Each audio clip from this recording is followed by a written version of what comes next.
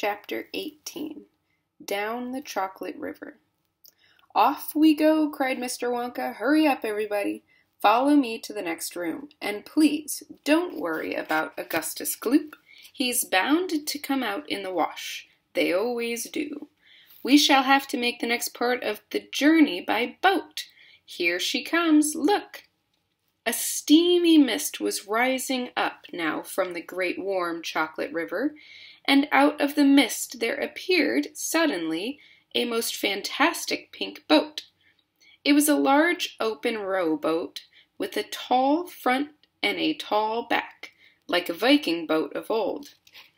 And it was of such a shining, sparkling, glistening pink color that the whole thing looked as though it were made of bright, pink glass. There were many oars on either side of it, and as the boat came closer, the watchers on the river bank could see that the oars were being pulled by masses of Oompa Loompas, at least ten of them to each oar. This is my private yacht, cried Mr. Wonka, beaming with pleasure. I made her by hollowing out an enormous boiled sweet. Isn't she beautiful? See how she comes cutting through the river. The gleaming pink boiled sweet boat glided up to the river bank. One hundred Oompa Loompas rested on their oars and stared up at the visitors. Then, suddenly, for some reason best known to themselves, they all burst into shrieks of laughter. What's so funny? asked Violet Beauregarde. Oh, don't worry about them, cried Mr. Wonka. They're always laughing. They think everything's a colossal joke. Jump into the boat, all of you. Come on, hurry up. As soon as everyone was safely in, the Oompa Loompas pushed the boat away from the bank and began to row swiftly down the river.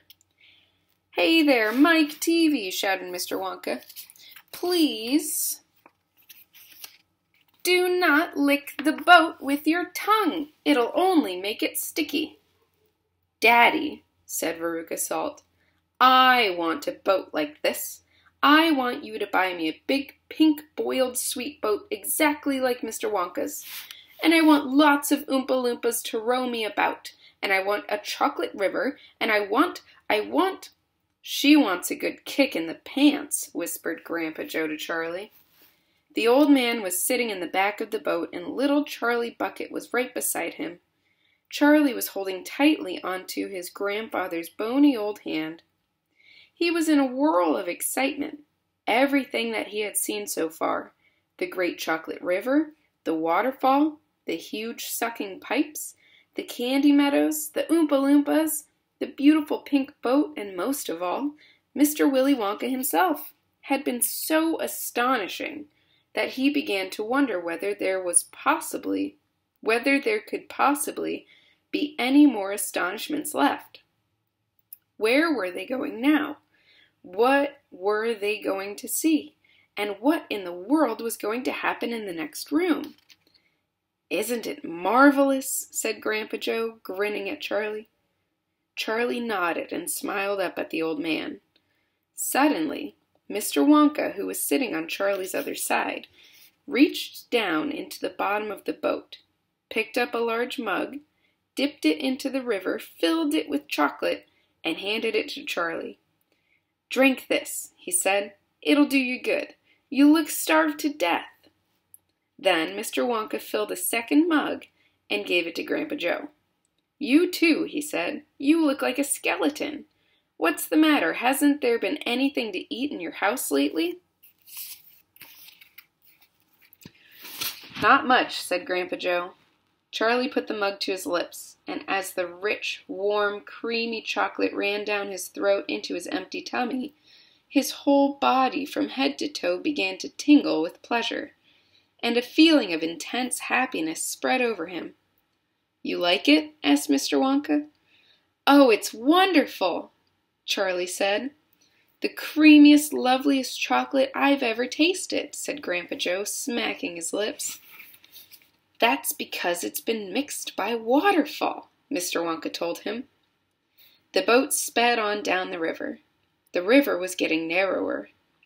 There was some kind of dark tunnel ahead, a great round tunnel that looked like an enormous pipe. And the river was running right into the tunnel. And so was the boat. Row on! shouted Mr. Wonka, jumping up and waving his stick in the air. Full speed ahead! And with the Oompa Loompas rowing faster than ever, the boat shot into the pitch dark tunnel, and all the passengers screamed with excitement. How can they see where they're going? shrieked Violet Beauregarde in the darkness. There's no knowing where they're going, cried Mr. Wonka, hooting with laughter. There's no earthly way of knowing which direction they are going. There's no knowing where they're rowing, or which way the river's flowing. Not a speck of light is showing, so the danger must be growing. For the rowers keep on rowing, and they're certainly not showing any signs that they are slowing. He's gone off his rocker, shouted one of the fathers, aghast, and the other parents joined in the chorus of frightened shouting. He's crazy, they shouted. He's balmy, he's nutty, he's screwy, he's batty, he's dippy, he's dotty, he's daffy, he's goofy, he's beany, he's buggy, he's wacky, he's loony. No, he's not, said Grandpa Joe. Switch on the lights, shouted Mr. Wonka, and suddenly on came the lights, and the whole tunnel was brilliantly lit up, and Charlie could see that they were indeed inside a gigantic pipe, and the great upward curving walls of the pipe were pure white and spotlessly clean. The river of chocolate was flowing very fast inside the pipe, and the Oompa Loompas were all rowing like crazy, and the boat was rocketing along at a furious pace. Mr. Wonka was jumping up and down in the back of the boat and calling to the rowers to row faster and faster still. He seemed to love the sensation of whizzing through the white tunnel in a pink boat on a chocolate river, and he clapped his hands and laughed and kept glancing at his passengers to see if they were enjoying it as much as he. Look, Grandpa, cried Charlie. There's a door in the wall. It was a green door, and it was set into the wall of the tunnel just above the level of the river. As they flashed past it, there was enough time to read the writing on the door. Storeroom number 54, it said. All the creams dairy cream, whipped cream, violet cream, coffee cream, pineapple cream, vanilla cream, and hair cream. Hair cream, cried Mr. Mike Teavee. You don't use hair cream. Row on, shouted Mr. Wonka. There's no time to answer silly questions.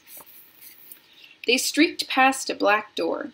Storeroom number 71, it said on it. Whips, all shapes and sizes. Whips? cried Veruca Salt.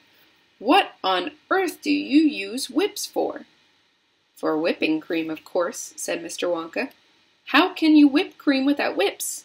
Whipped cream isn't whipped cream unless it's been whipped with whips, just as a poached egg isn't a poached egg unless it's been stolen from the woods in the dead of night. Row on, please. They passed a yellow door on which it said, Storeroom number 77. All the beans. Cocoa beans, coffee beans, jelly beans, and has beans. Has beans? cried Violet Beauregarde. You're one yourself, said Mr. Wonka. There's no time for arguing. Press on, press on. But five seconds later, when a bright red door came into sight ahead, he suddenly waved his gold tipped cane in the air and shouted, Stop the boat!